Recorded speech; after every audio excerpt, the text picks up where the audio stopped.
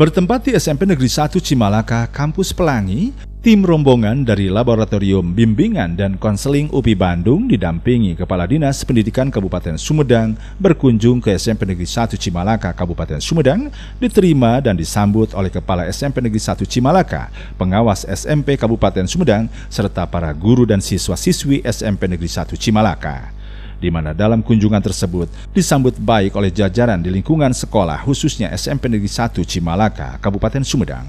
Kepala SMP Negeri 1 Cimalaka Nung Titin Agustikawati mengucapkan terima kasih kepada Kandisdik dan UPI Bandung dan ini semua merupakan suatu kehormatan, suatu kebanggaan baginya dan seluruh warga SMP Negeri 1 Cimalaka dan juga merupakan salah satu yang akan dijadikan pionir atau paling duluan mengikuti kegiatan ini. Mengucapkan terima kasih kepada Bapak Kadis, terima kasih dari UPI semua uh, merupakan suatu kehormatan, suatu kebanggaan bagi saya dan seluruh warga Saci, merupakan salah satu yang akan dijadikan pionir atau paling duluan ya, uh, ya. mengikuti kegiatan ini.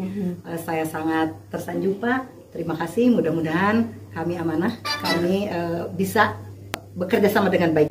Hal senada juga dikatakan pengawas SMP Kabupaten Sumedang Ade Sudiana.